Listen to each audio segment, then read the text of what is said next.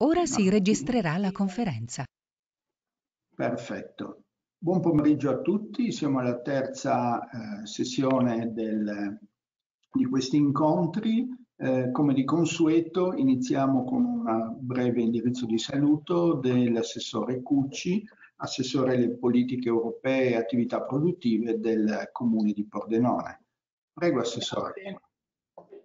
Grazie. Buonasera a tutti e a tutte. Ovviamente ringrazio i presenti e i partecipanti collegati via web a questo terzo appuntamento di PNI Smart Desk.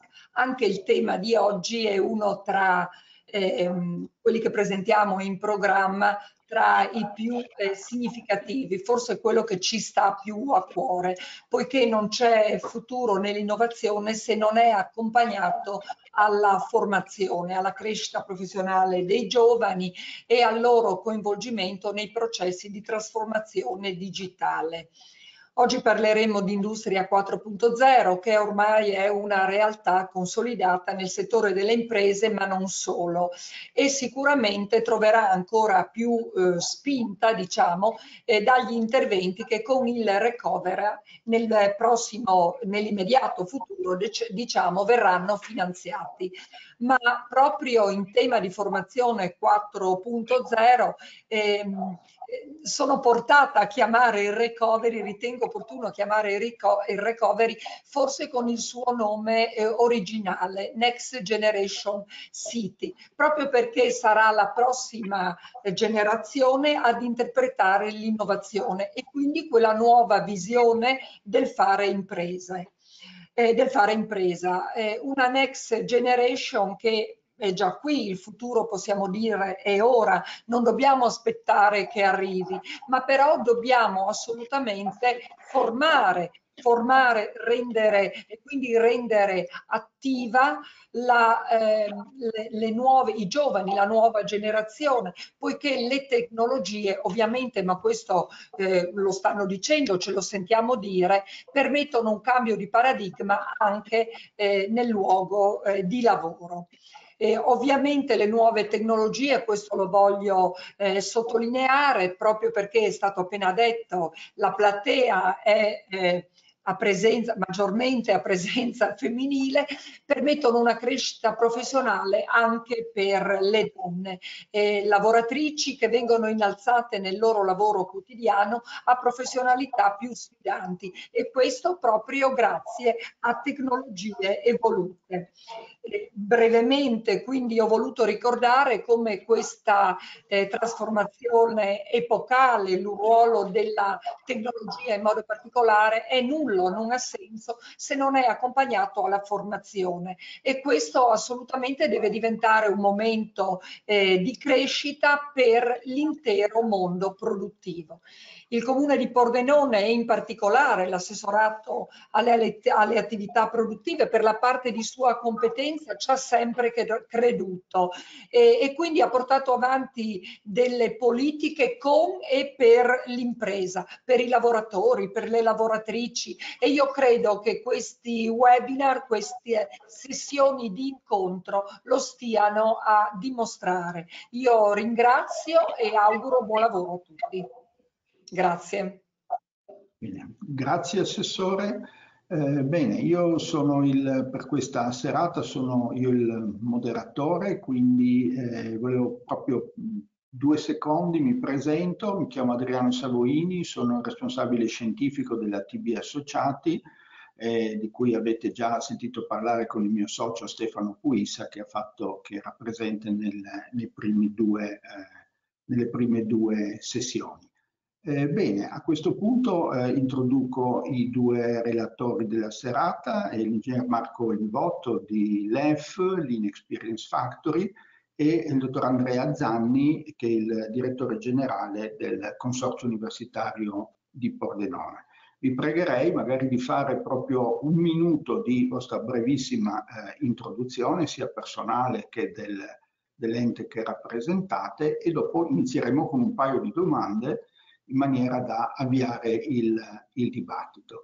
Per quanto riguarda eventuali domande da parte del, dei presenti e le potete fare come sempre nella chat e poi sarà nostra, nostra cura proporle ai relatori ed avviare eh, un'ulteriore eh, chiacchierata con voi. Eh, prego Olivotto, Marco Olivotto, eh, se vuole raccontarci un po' di sé e della, e della LEF. Grazie. Un piacere. Sono Marco, non sono ingegnere, sono laureato in economia, eh, l'ho preciso ahimè o per fortuna, so che ci sono degli ingegneri e, e ci piace prenderci, prenderci, in giro vicenda. Eh, sono laureato in economia, ho fatto un percorso in Italia all'estero, eh, la cosa che più mi piace raccontare, che insomma è l'esperienza più, più importante, vengo dal, dal polo tecnologico di Pordenone, ora Alto, Alto Adriatico, eh, che eh, abbiamo, abbiamo, sviluppato, che so eh, essere stato insomma, coinvolto anche in questo, in questo percorso nella puntata, nella puntata, precedente. Da eh, circa cinque mesi sono diventato nuovo direttore generale di LEF. LEF è l'acronimo di Lean Experience Factory eh, ed è una società eh, con sede operativa a, a San Vito, al tagliamento, eh, che è particolare perché è una società eh, costituita al 50% da Confindustria Alto Adriatico e una serie di altri eh, soggetti e soci territoriali e per l'altro 50% da McKinsey Company, eh, la più grande o tra le più grandi società di consulenza strategiche eh, globali e che appunto ha partecipato a questa LEF, questa Lean Experience Factory, ormai da eh, una decina d'anni, dal 2011 precisamente. Bene, bene. Uh, se vuole uh, possiamo iniziare a parlare un po' di LEF oppure direi Come... che va, va, va benissimo. La sua, la sua presentazione. Come vuoi Andrea? Bene, 30 mm, secondi per presentarmi. Andrea Zanni, io sono ingegnere informatico e sono direttore del Consorzio Universitario di Pordenone, che è l'ente che a Pordenone gestisce e coordina il polo universitario, quindi a Prassecco. È un polo universitario che attualmente conta più di 1500 iscritti, eh, sono insediate qui tre università, l'Università di Udine, l'Università di Trieste e eh, l'Accademia ISIA Roma Design di Roma, che eroga però dei corsi a Pordenone sul design di prodotto. E qui presente anche i percorsi ITS, Istituti Tecnici Superiori, questi sono corsi parauniversitari, ma post diploma. Fino al mese scorso mi occupavo anche di ITS, adesso sono tornato a occuparmi a tempo pieno di polo universitario. Eh, all'interno del polo universitario sono presenti anche sei laboratori di ricerca universitaria che creano quel link di ricerca, di innovazione e di sviluppo che poi si proietta direttamente verso il polo tecnologico dove trova il suo naturale sviluppo le, spin-off o aziende o innovazione e si collega tutto tondo con la LEF per completare un ciclo di innovazione che direi sul nostro territorio ha veramente tutte le carte in regola su tutti i vari step. Direi che come presentazione mi fermerei qui e poi all'interno delle varie domande avrò modo di approfondire. Molto bene, grazie eh, dottor Zanni. Beh, partiamo con una prima, una prima domanda a, a Olivotto sulla, sulla LEF. Eh, questa mi pare sia un'azienda, una diciamo, modello per eh, diciamo, tutta una serie di determinate eh, attività. Um, cos'è sostanzialmente la LEF? Cosa, quale vuole essere il suo ruolo nel, diciamo, nel panorama sia formativo sia industriale eh, attuale?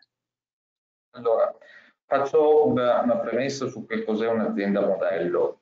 Eh, voi avete presente la barzelletta, quella che dice che eh, durante il giorno si scava il buco e alla sera si chiude il buco? L'EF è sostanzialmente questo, è un'azienda reale con macchine, tecnologie, processi, okay, un prodotto che è il compressore, che viene realizzato e alla fine viene smontato.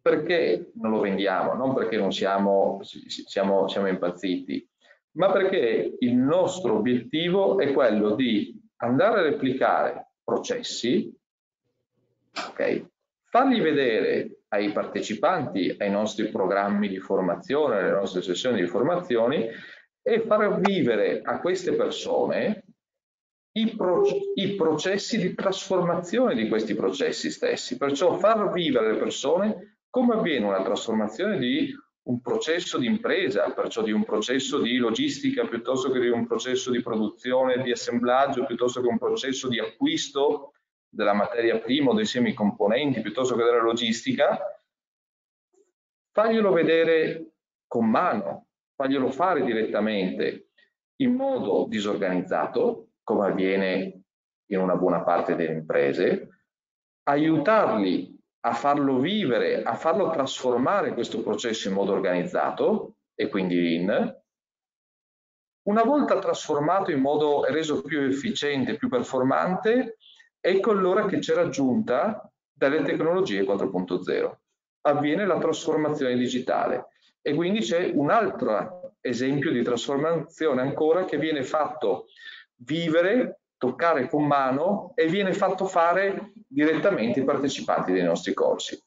Questa è un'azienda modello, sostanzialmente un'azienda con processi reali, con persone reali che producono, reali, partecipano, interpretano dei ruoli, dove però l'obiettivo non è vendere l'output diretto di questo processo produttivo, ma andare a replicare, a far vivere quelle che sono tutte le dinamiche legate alle persone e quindi alla difficoltà magari di interazione che ci possono essere, piuttosto che alla difficoltà di eh, adottare un certo tipo di cultura, piuttosto che far capire, far percepire quali sono le opportunità legate alla digitalizzazione, piuttosto che far capire che se io digitalizzo senza essere prima diventato snello, ho digitalizzato uno spreco e quindi non va bene. Non posso laurearmi senza essere prima laureato. Okay? Questa è un'azienda un modello. Non è l'unica di aziende modello. Eh, nasce, anzi, faccio un passo indietro. L'EF oggi è un'azienda modello, ma lo sta diventando eh, quest'anno, in, questo, in questo mese, in queste settimane, che ci stanno separando dall'inaugurazione dell'espansione della nuova sede che sarà prevista i primi di luglio e che sta trasformando profondamente quella che è l'EF, perché l'EF nasce nel 2011, come dicevo prima, come fabbrica modello.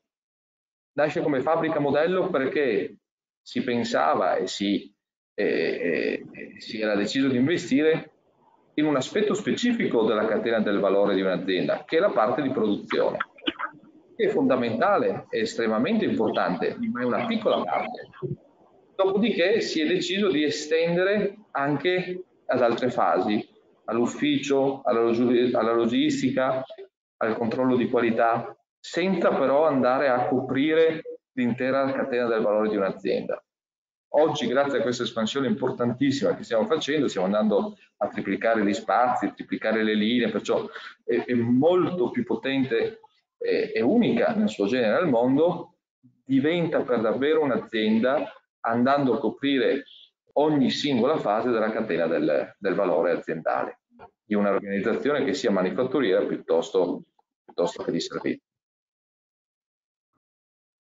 Ottimo. Eh, una, una, domanda, così una curiosità forse più, più personale. Eh, eh, come ha impattato il momento pandemico nella, nella diciamo, struttura, evoluzione, eh, nelle attività quotidiane di, di LEF. È stato incorporato un certo know-how preso da questa situazione molto particolare, diciamo, all'interno dell'azienda? Dell allora, eh, l'impatto è stato eh, all'inizio di eh, così sconforto, perché noi facciamo formazione esperienziale, eh, questo è il nostro business, questo è quello che ci caratterizza da altre business school, da altri soggetti che erogano formazione su questi temi, nostro, il nostro asset portante, il nostro valore aggiunto della fabbrica, siamo spacciati. Dopodiché ci si è grattati un po', un po' la pera e si è capito che le aziende continuavano ad avere esattamente le stesse esigenze, anzi di più, perché dovendo comunque produrre in situazioni di instabilità, di grandissima flessibilità, essere snelli ed essere più, più performanti è molto importante, più importante ancora di prima di una condizione normale. E quindi c'era una grandissima domanda da parte del mercato. Si è sostanzialmente deciso di investire okay, su una serie di tecnologie hardware e software e di riuscire a spostare e a garantire l'esperienzialità anche a distanza. Questo cosa ha permesso? Ha permesso di superare le barriere fisiche, perciò di far vivere l'esperienzialità non solamente a quelli che riuscivano a venire prima fisicamente in aereo o in macchina a San Vito, ma di farla vivere a chiunque in modo molto più facile anche. Eh, l'esperienzialità è garantita? Sì, io quando sono arrivato ho detto ma non è possibile, voglio provare, perciò mi sono fatto un po' di corsi. E bisogna dire che l'esperienzialità è assolutamente garantita. Eh, il trasferimento, l'apprendimento del know-how anche eh, rimangono degli aspetti che secondo me, a mio avviso, sono importanti, che sono la fisicità, perciò l'esperienza non tanto legata al modulo formativo in sé, ma quanto legata al confronto con le altre persone, a eh, tutto ciò che è il contorno, che è il bello del, eh, lasciatemi dire, della trasferta, anche che è il bello di stare fuori, andare poi a cena magari con i colleghi o con persone che si sono conosciute durante, durante la giornata. Eh, questo però ci ha permesso, di, ha permesso all'EV di sostenersi, stare in piedi e anzi crescere il volume di affari. Ha permesso di sperimentare delle formule che prima non si sarebbero mai pensate e che adesso che speriamo sempre di più eh, non, siano, non saranno più obbligatorie, ma che comunque manterremo. Perché anzi, proprio nell'espansione è stato fatto un investimento ancora maggiore proprio per riuscire a essere più performanti dal punto di vista eh, della fruizione a distanza. Certo. Eh, ci ha permesso di sperimentare formule blended, parte in fisico, parte da remoto.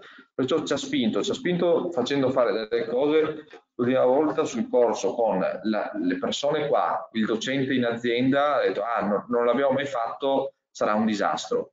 Il risultato invece dopo due giorni è che è andata benissimo e, e che anzi verrà fatto molte più volte così. Certo. Bisogna rischiare. Certo.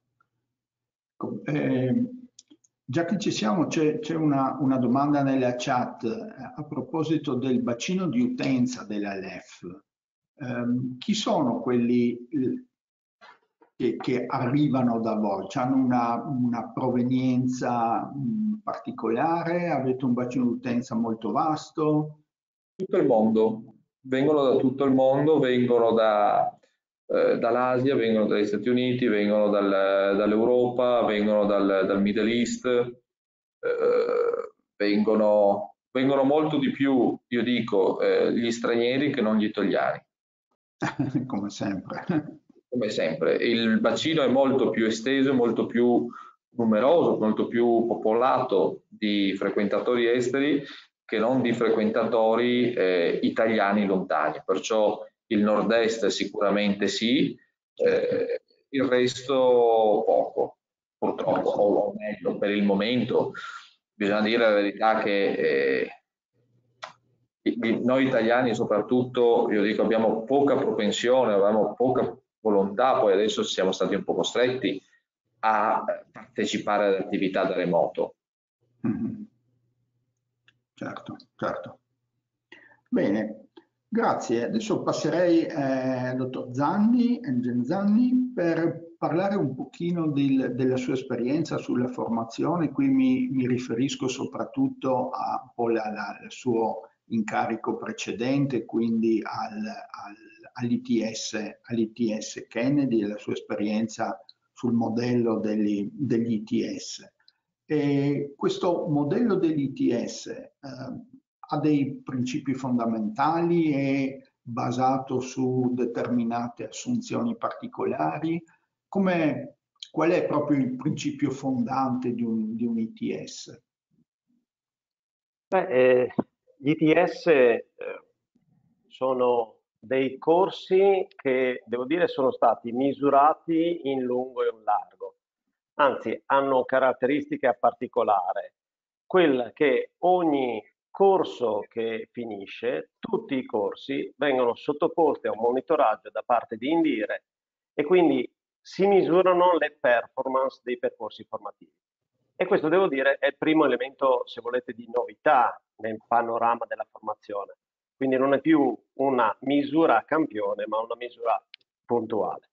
Perché faccio riferimento alle misurazioni? Perché le misurazioni degli ITS parlano di numeri veramente eccezionali di occupabilità, soprattutto nel nostro settore, qui a Pordenone, l'ITS Kennedy, ora ITS Alto Adriatico, eh, racconta numeri altissimi di occupabilità, 91, 95, 97% di studenti che a un anno dal diploma trovano lavoro nel settore coerente al loro percorso di studi. Per cui stiamo parlando solo di ragazzi che vanno a fare esattamente quello che, eh, che hanno studiato. Per arrivare a questi numeri che sono veramente eccezionali, bisogna introdurre elementi di novità dirompenti. Gli elementi dirompenti sono un'attenzione alle necessità, alle evoluzioni, al panorama, ai fabbisogni, a quello che le aziende, eh, di, quello di cui le aziende hanno bisogno, quelli che sono gli orizzonti futuri, perché quando parliamo di corsi come i nostri in ambito ICT, quindi che parlano di eh, sviluppatori cloud, sviluppatori in ambito IoT, eh, sviluppatori in ambito mobile, eh, data analytics, eh, user experience, eh, stiamo parlando di tecnologie, di argomenti, anche di filosofie, di nuovi approcci che sono estremamente innovativi. Per cui questi numeri se vogliamo andarli a studiare bene, hanno un'origine molto particolare, la stretta collaborazione con le aziende. Sono percorsi di studio che tengono conto delle esigenze di un vasto eh, diciamo, insieme di soggetti, tra cui sicuramente le aziende che hanno la possibilità di partecipare alla progettazione, direttamente alla progettazione, i contenuti didattici, cosa che spesso eh, viene riservata solo agli enti formativi. Invece negli ITS c'è una partecipazione diretta tramite un comitato tecnico-scientifico che eh, racchiude tantissime voci.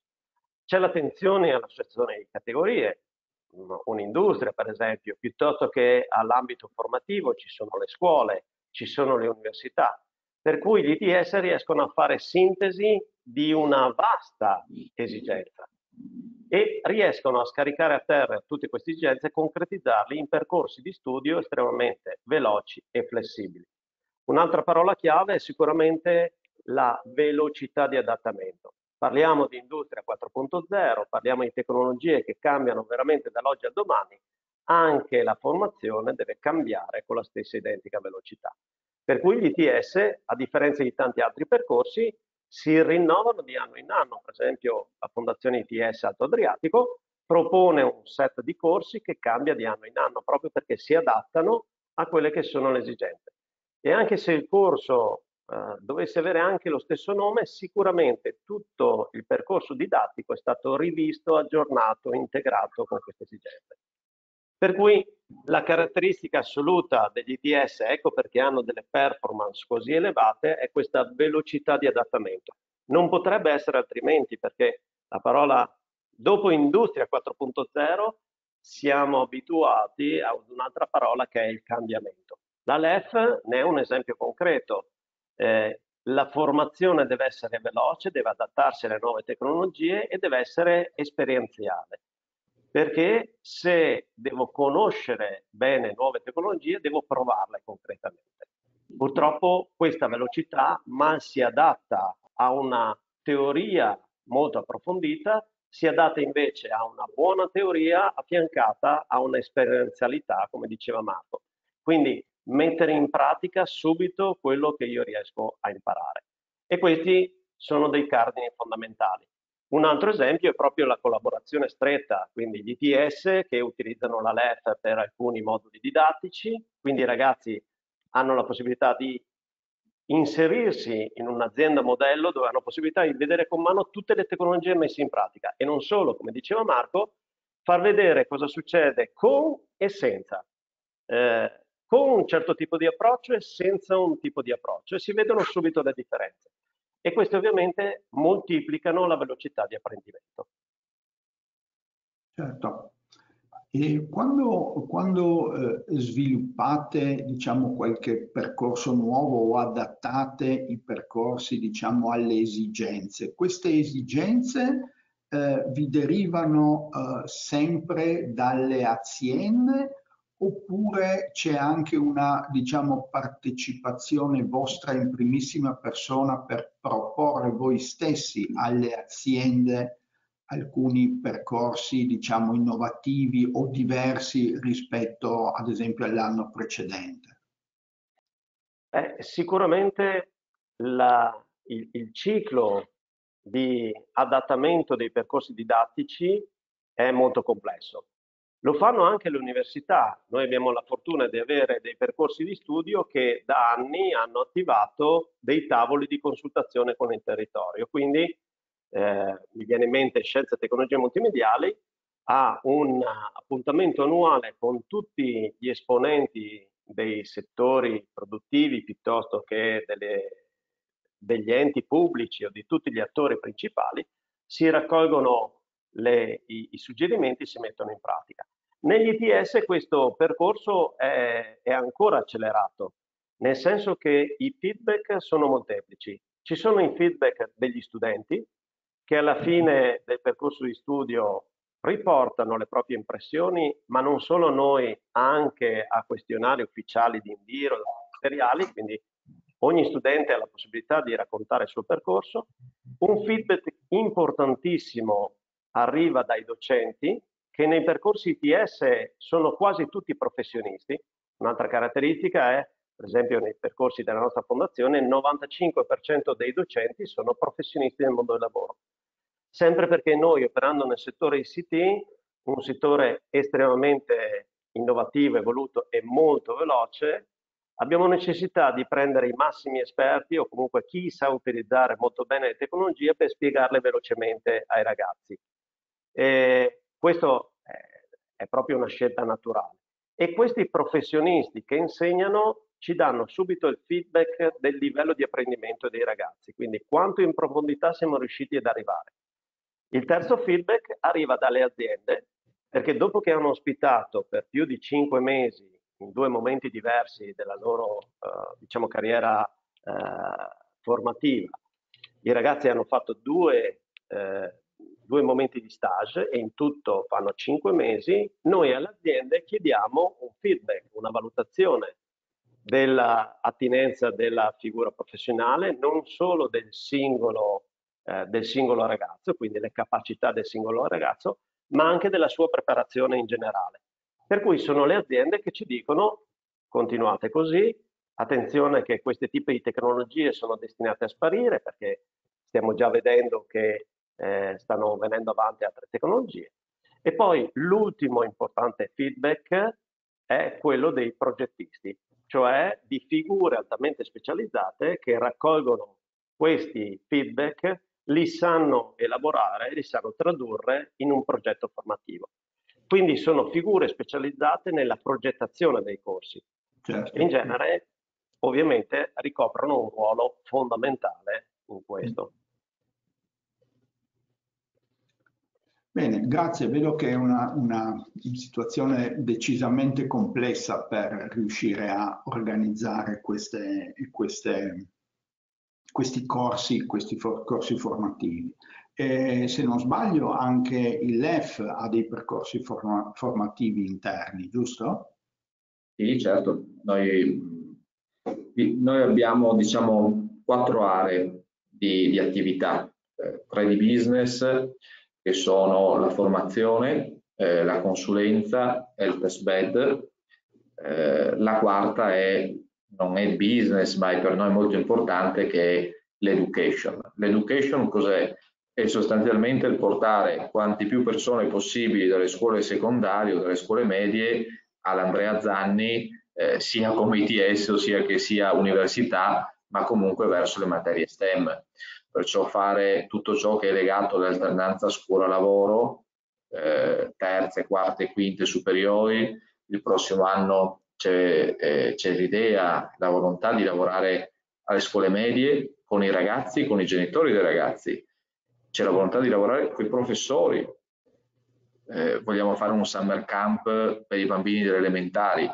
Vogliamo fare delle summer school legate alle ragazze per farle avvicinare verso le materie STEM e fargli capire che la fabbrica non è martello e scappello ed è un luogo brutto, cattivo, dove è pericoloso, dove la gente si fa male, inquinato, non è assolutamente quella cosa lì.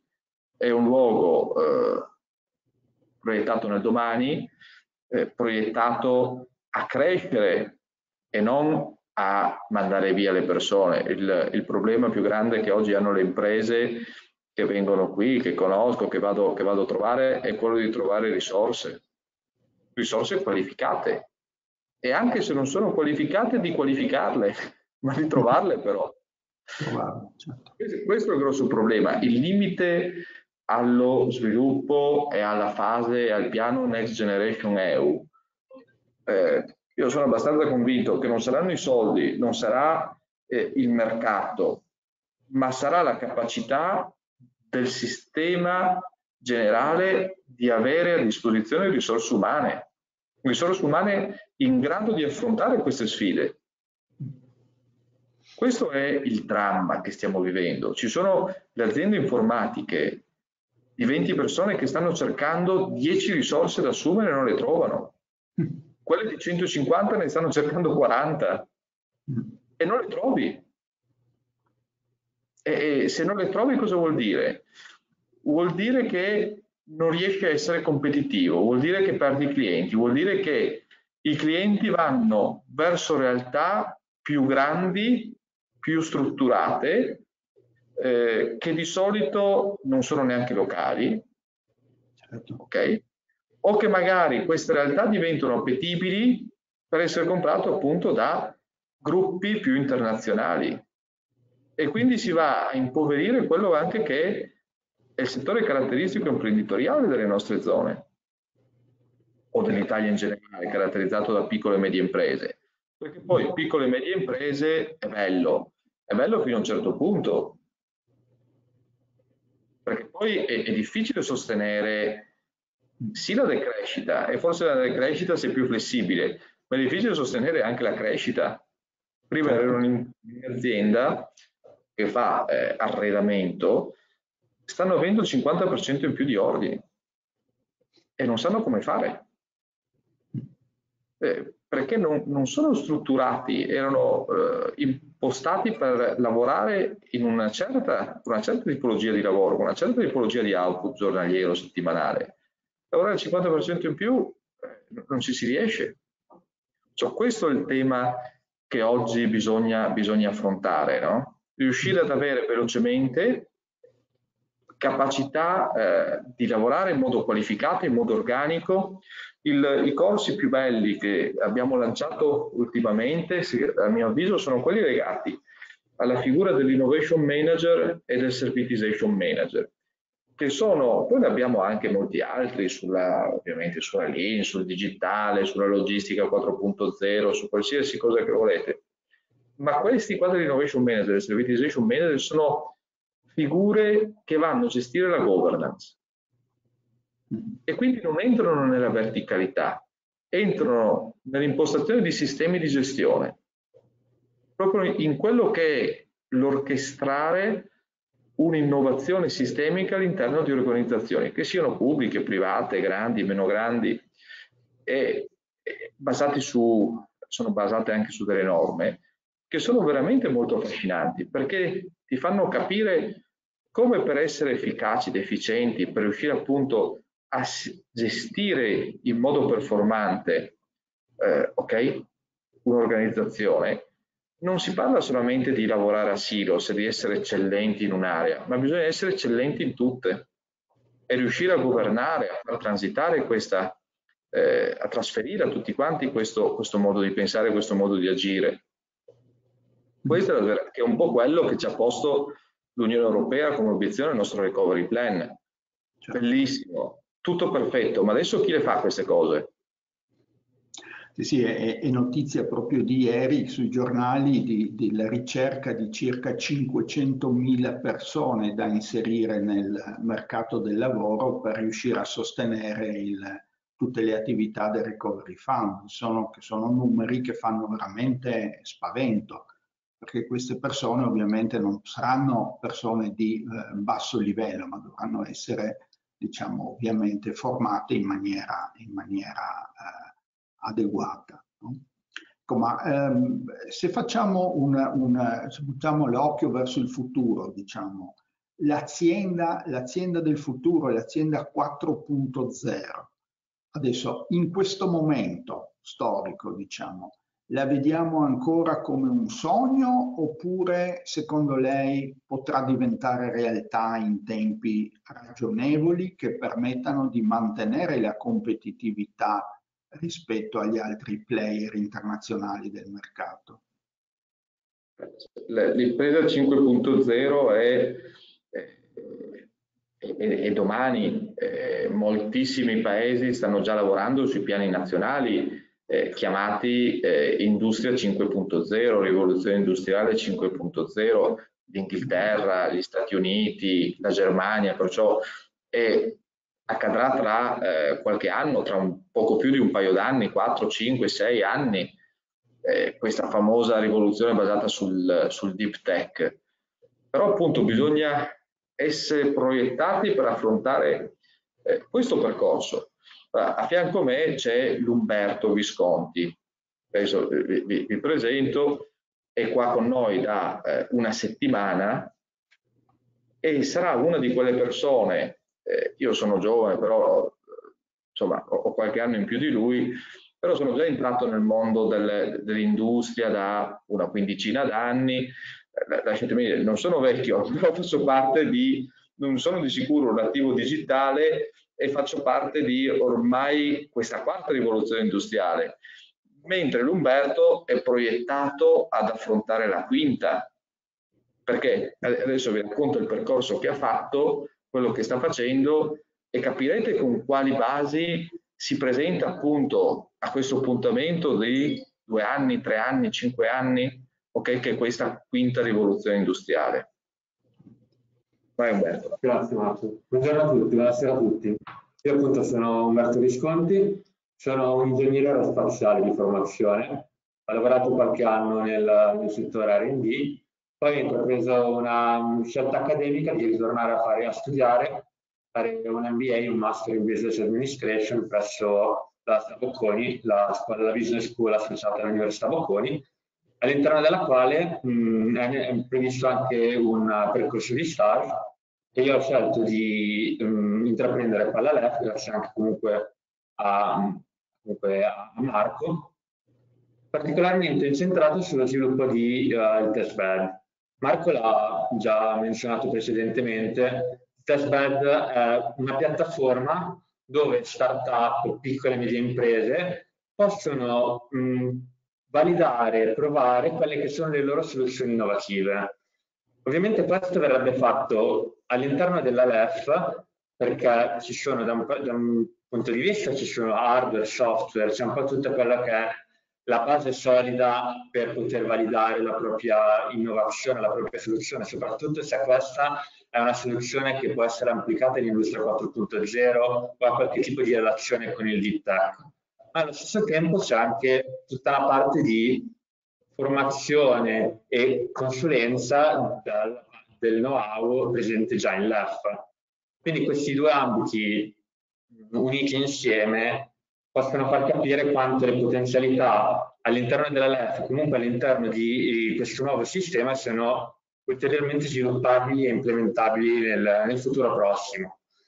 Quindi, come diceva Marco, qua siamo solo, è solo una partenza, possiamo andare molto avanti, possiamo sfruttare tutte quelle che sono le risorse presenti sul territorio e che comunque non, non vengono mh, sviluppate al massimo proprio perché manca una, un certo tipo di relazione, un certo tipo di know-how che viene messo a disposizione. Cercare quindi di fare rete, cercare quindi di avere uno sviluppo complessivo di queste attività solo, mh, avrà solo un outcome positivo per tutti. Perfetto.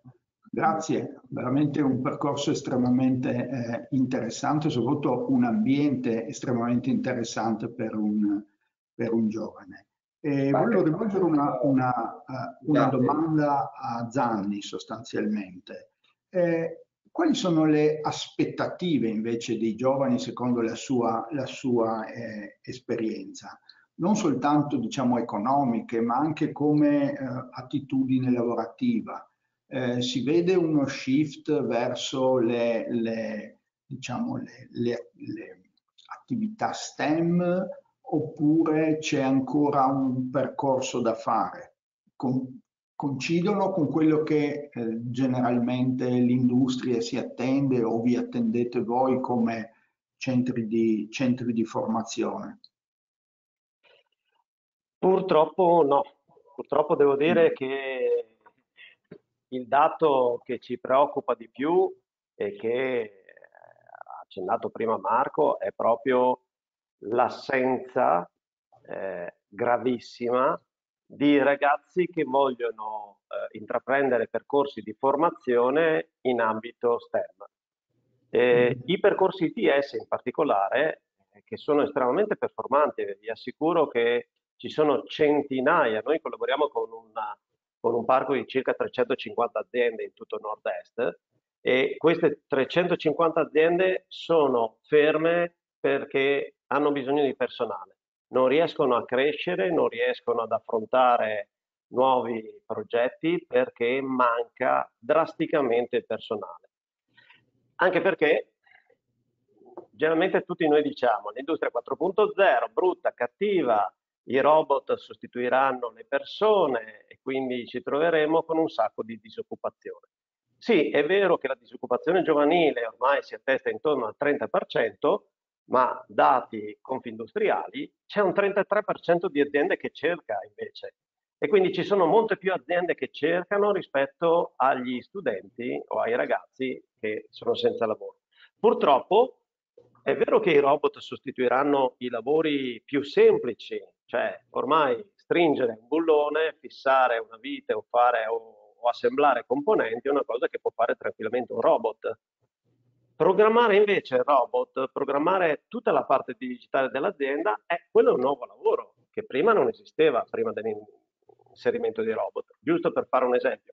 Tecnologie fantascientifiche, perché ormai parliamo tranquillamente di intelligenza artificiale, eh, parliamo di computer cognitivi, quindi computer che sono in grado di prendere decisioni perché attraverso una telecamera riescono a capire l'ambiente che li circonda. Questo è il livello tecnologico con cui le nostre aziende si trovano a confrontarsi. Per cui è drammatica l'assenza eh, quasi totale, vorrei dire, di adesione a percorsi STEM, soprattutto per le, le ragazze. Eh, nell'ambito informatico trovare una ragazza che frequenta percorsi così avanzati è molto difficile. In realtà rappresentano delle, delle opportunità incredibili anche per lo stesso forma mentis eh, delle ragazze a dispetto del genere maschile in certi tipi di attività. E anche la regione Friuli Venezia Giulia, per esempio per le ragazze che frequentano i percorsi TS, spesso e volentieri offre delle borse, dei voucher che eh, ripagano completamente le quote di iscrizione. Attenzione, quote di iscrizione per questi percorsi che sono 300 euro all'anno, 500 euro all'anno, quindi sono percorsi che la regione, gli enti pubblici, tutto, il, tutto l'indotto sta finanziando quasi completamente ma che trova pochissimi, pochissimi iscritti. Per cui il dramma che stanno vivendo le nostre aziende, sto parlando proprio di dramma vero e proprio, è l'assenza totale di personale altamente qualificato. E questo eh, è proprio in un momento in cui i, percorsi STEM dovrebbero essere tipici di qualsiasi percorso di formazione, in realtà sono limitati e sono delimitati in pochi percorsi e questi pochi percorsi sono assolutamente poco frequentati. Per cui questo è veramente un grido d'allarme che lanciano un po' tutti i percorsi che operano in, con tecnologie così avanzate. Certo, la complessità è elevata perché quando ai nostri ragazzi insegniamo l'utilizzo di, eh, di, di linguaggi per l'intelligenza artificiale, chiaro, eleviamo l'asticella un po' verso l'alto. Però le opportunità lavorative che poi si trovano tra le mani sono veramente enormi. Noi abbiamo ragazzi che sono usciti dai nostri percorsi che adesso lavorano in giro per l'Europa e in brevissimo tempo sono arrivati a ricoprire ruoli veramente apicali perché sono in questo momento tra i pochi detentori di alcune conoscenze specifiche. E per cui eh, come sempre le regole della domanda e dell'offerta in questo, in questo momento eh, diciamo, avvantaggia assolutamente i pochi studenti che sono presenti sul mercato che veramente vengono ricercati e si vengono strappati nel vero senso della parola da un'azienda all'altra, questa è la realtà. E da questo punto di vista volevo fare una domanda ad entrambi. C'è, un, eh, diciamo, c'è lo spazio per la, eh, chiamiamola, riqualificazione di persone non più giovani o giovanissime già presenti in azienda per eh, elevare questa asticella all'interno dell'azienda, almeno su persone diciamo di un certo tipo, oppure eh, diciamo, queste nuove competenze richiedono proprio un background di base che generalmente si acquisisce in età eh, molto giovane. Eh, continuo io la risposta, poi Marco ti cedo la parola, perché effettivamente questo è un tema eh, molto delicato, nel senso che è un problema che riguarderà nei prossimi anni tantissime persone, anche per il, lo stesso motivo a cui abbiamo accennato prima. L'elevata digitalizzazione delle aziende, automazione delle aziende, certo ridurrà, eh, ridurrà i lavori più semplici, quelli più di, di, di pura manovalanza. Ma anche nel settore produttivo ci dovrà essere un'evoluzione. Banalmente, chi 30 anni fa usava un tornio per entrare in un settore, un tornio aveva tre leve, comandava tre assi, fine. La capacità era solo quella di muovere lentamente la manovella nel modo giusto. Oggigiorno quelle manovelle sono completamente sparite, le macchine sono completamente automatizzate, il, il lavoro è diventato meno pesante, più sicuro, ma Contemporaneamente bisogna crescere anche negli, diciamo, negli strati produttivi più bassi una conoscenza. Quindi il futuro dell'industria 4.0 è sicuramente legato a, a, stretto giro con la formazione. Chiaro, non possiamo pretendere che un panettiere diventi un esperto in robotica e quindi con le giuste limitazioni ovviamente di questi percorsi però la formazione continua sarà un tema predominante per i prossimi anni. Quindi formare le stesse persone che sono dentro l'azienda per riqualificarle, insegnare a chi usava il tornio vent'anni fa, usare una macchina a controllo numerico che gli permette di ampliare molto la, la, propria, la propria mente, la propria conoscenza e la propria visione su quello che fa. Perché adesso le persone in azienda sono coinvolti in, in processi molto più complicati, complessi e questo deve essere da stimolo per la crescita professionale. E quindi la formazione sì, si può fare, deve, essere, deve passare assolutamente per una formazione continua e una formazione fatta a livelli concreti, coerenti. Marco, non so se vuoi aggiungere qualcosa più dell'aspetto azienda. Andrea, io ho fatto un istituto professionale e quindi eh, ho lavorato sui torni e sulle frese ed erano pieni di manovelline, era bellissimo. Adesso ci hanno portato qua una fresa a 5 assi, non c'ha una manovella neanche, non capisci neanche da dove entra il pezzo perché e, e tutto quanto un box pieno di lucine, pieno di cose, fa delle cose spettacolari, però in vent'anni è veramente, no, un po' di più, è veramente cambiato, cambiato il mondo. Eh, non dobbiamo, secondo me, eh, però, eh, ecco, questo è un passaggio importante e veramente dove dobbiamo lavorare tutti quanti su cercare di trasmettere questo principio, a mio avviso. Non dobbiamo perdere il sapere del fare, perché c'è sempre questo eh, pensiero eh, dovuto probabilmente anche ad aspetti culturali, al vissuto personale, che eh, il, il, stare dietro una scrivania o l'essere così, eh, avere certi tipi di, eh, di, attività sia bellissimo, sia pieno di gioie, sia appagante, sia il, il lavoro perfetto. Mentre altri, magari il capocantiere edile, siano lavori sporchi, faticosi, eh, a, basso, a basso prestigio sociale, eccetera. Cosa sbagliatissima e molto pericolosa perché rischiamo di non avere più professionalità in grado di svolgere quei lavori.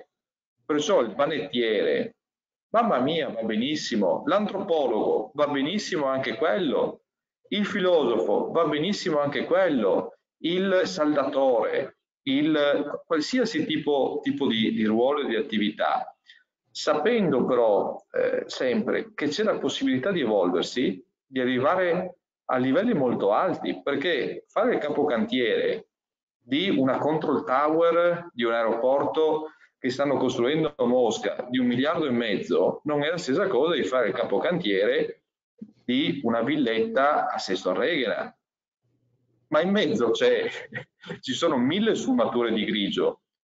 Così come fare l'antropologia, perché uno ha quella passione, se riesce a realizzare diventare antropologo, bravissimo, fortunato, determinato, capace, ma ad esempio l'antropologo piuttosto che il filosofo di solito vengono riconvertiti, se con passione, se con determinazione, in modo eccellente a diventare programmatori di algoritmi di intelligenza artificiale, perché l'approccio trasversale, l'approccio culturale si adatta molto bene a ricercare sistemi eh, non, eh, e logiche e approcci non tipici dell'ingegnere, che molte volte è più quadrato e molto più razionale, ma legati alla gestione di sistemi complessi e quindi alla mente umana, e quindi alla filosofia, e quindi all'antropologia, e quindi all'evoluzione di sistemi complessi.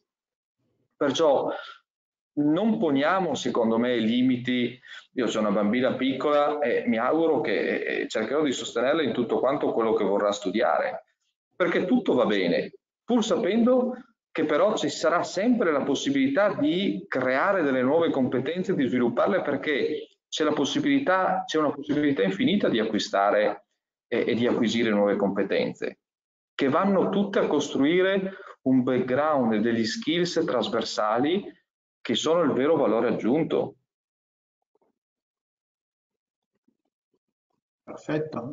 E comunque, tornando al discorso delle persone già in azienda con una certa eh, età, eh, c'è la, la, diciamo, si vuole intraprendere un qualche percorso di riqualificazione che riesca a portarli eh, in qualche modo verso, verso nuove attività, anche magari immaginando qualcosa di meno complesso dello sviluppare da zero un sistema di intelligenza artificiale. Ma certo. Prego, prego. Ma, eh, assolutamente sì. Eh, non è vero che queste nuove tecnologie sono eh, esclusivamente alla portata dei giovani o dei nativi digitali tutto sta nel come vengono utilizzate le, le tecnologie, che non devono essere tecnologie sostitutive della capacità dell'uomo, ma devono essere tecnologie ad aiuto, ad aumentare la capacità dell'uomo. Allora, se questo viene trasferito, comunicato, fatto capire e disegnato in questo modo, qualsiasi persona è in grado di utilizzare la tecnologia. Se la tecnologia invece viene vista come sostitutiva eh, e pensata fino a se stessa, senza essere invece disegnata per portare del valore all'uomo, allora le due cose non funzionano. Non funzionano, certo. Mm -hmm. una, ancora una, stiamo più o meno arrivando a, a, a fine della, della, sessione. Volevo uh, farvi una domanda nuovamente a entrambi. C'è qualche competenza, secondo voi, che nei prossimi, diciamo, due anni, ecco, per non spingersi troppo in là con, con, con le previsioni, le aziende potranno richiedere ai giovani, oltre a quelle che già richiedono al momento? Qualcosa di particolarmente visionario, particolare, che si comincia a intravedere all'orizzonte e che potrà essere richiesto ai, ai vostri giovani che vengono a seguire i vostri percorsi? Ah, eh, due cose, secondo me. Una, diciamo, visionaria perché facciamo riferimento magari a uno scenario di 10-15 anni, ma che, che, riguarda tutti. In, nei, miei, nei, miei, seminari eh, esco sempre con un titolo perché domani saremo tutti informatici. In realtà non saremo tutti informatici, ma sicuramente tutti useremo l'informatica. Per cui una capacità sono un po' di parte, però una capacità che secondo me sarà richiesta un po' a tutti è quella di capire il codice. Eh, questo indipendentemente da quale sarà il contesto, eh, stiamo andando verso una complessità tale che, come ha detto Marco prima, eh, non ci saranno più né macchine né sistemi con pulsanti, rotelle e i display diventeranno sempre più complessi, per cui arriveremo a un livello di complessità dove bisognerà parlare una lingua con le macchine e spesso questa lingua è il codice, che poi sia codice come sarà strutturato non si sa, però sicuramente la mente di tutti dovrebbe essere, anzi la richiesta sarà quella, ma stiamo parlando proprio di un futuro visionario, di parlare dei linguaggi delle macchine.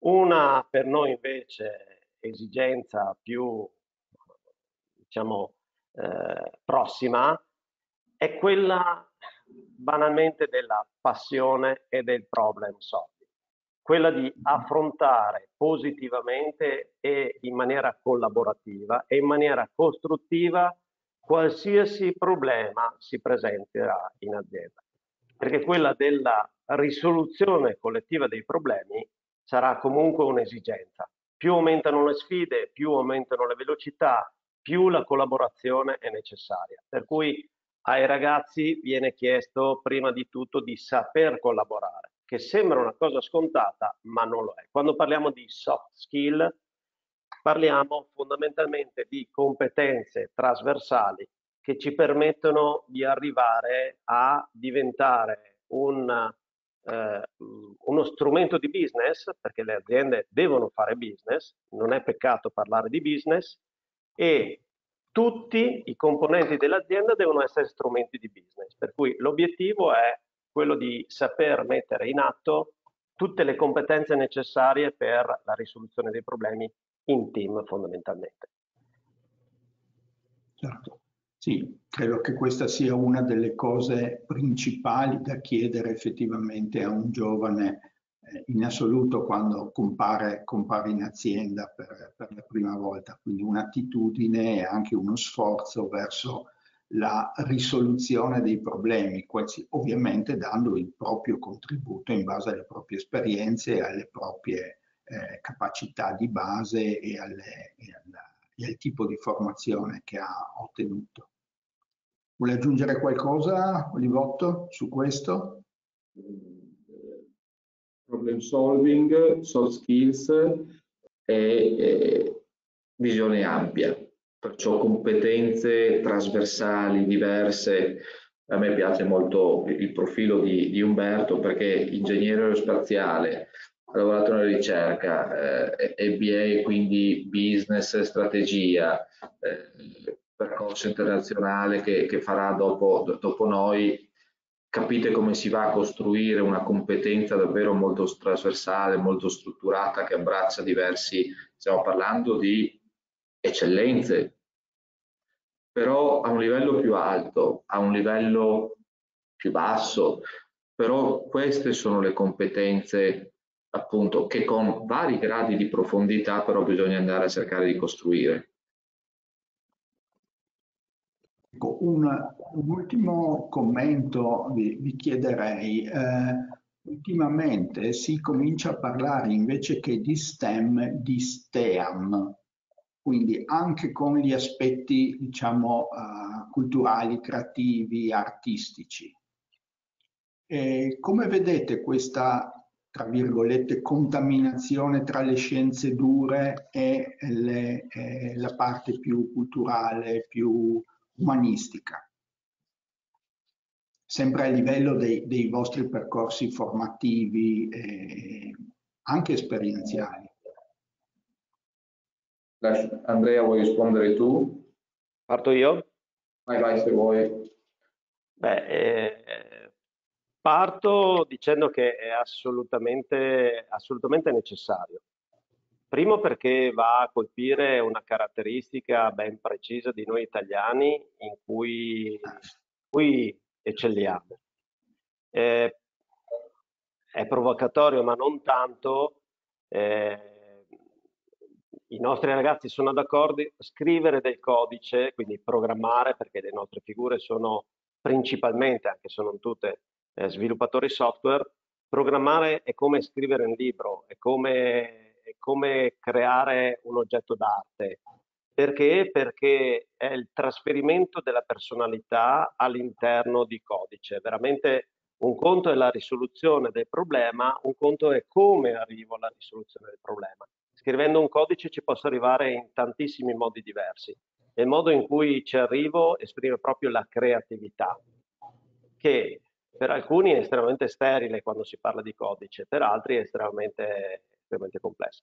E poi perché eh, le, le, le, aziende stesse ci insegnano che non è solo eh, tecnica quella che serve, anzi la creatività e la creatività nasce dall'arte, nasce dalla cultura, non nasce per caso, eh, solo in pochi casi, e quindi è assolutamente prioritaria. Altrimenti, come diceva Marco prima, eh, cerchiamo di, rischiamo di arrivare a figure estremamente sterili, eh, mentre anche un panettiere eh, imprime passione in quello che fa e cultura e ricerca, ricerca dei materiali, delle materie prime, dell'origine, per esempio, di alcuni grani antichi, perché nell'antichità si utilizzavano quei grani. E quindi come vedete anche nei lavori più semplici, anzi adesso chi realizza, non voglio dire che il panettiere è un lavoro semplice, tutt'altro, ma anzi nei lavori meno tecnologici, anche qui ci sarebbe tutto da dire, eh, c'è la possibilità di andare a ricercare le origini di certi, di certi lavori, di, soprattutto nella, nell'ambito ovviamente dell'alimentare, ma anche dei lavori più semplici. Eh, bisogna andare a ricercare le origini, perché altrimenti si perde il saper fare, la creatività, la cultura italiana del saper costruire, del saper creare. Noi abbiamo avuto eh, meravigliosi inventori, ma non si diventa inventori semplicemente conoscendo la matematica. Certo. Aggiungo, siamo, abbiamo sforato di un po' e aggiungo solamente una chiosa che al ragionamento condivido pienamente di, di Andrea. Eh, L'A è quello che ci eh, permette di distanziare di molto la macchina, che sicuramente sarà sempre più, più evoluta, perciò dobbiamo lavorare moltissimo su quella su quella A declinata su tutte le, le lettere precedenti, successive di questo, di questo stem e di quello che sta fuori dallo stem. Però è fondamentale perché ciò che eh, ancora per molto le macchine non saranno in grado di fare allo stesso livello dell'uomo. Certo, certo. Bene, vi, vi ringrazio e se c'è ancora qualche velocissima domanda dai, dai partecipanti, eh, Vediamo se ancora pochi secondi per metterla nella chat, altrimenti eh, direi che possiamo chiudere qui la, la sessione. So se l'assessore Cucci vuole dire qualche parola in chiusura. Salutare e ringraziare tutti, in particolare i relatori, il dottor Zanni e l'ingegnere Olivotto. Naturalmente è stato un incontro interessantissimo con delle riflessioni e soprattutto delle visioni che io credo siano importantissime proprio per le giovani generazioni. Quindi, e che ovviamente non possiamo che condividere. Quindi grazie ancora e buona serata a tutti. Grazie, grazie, grazie buona serata. Salve, arrivederci. Grazie.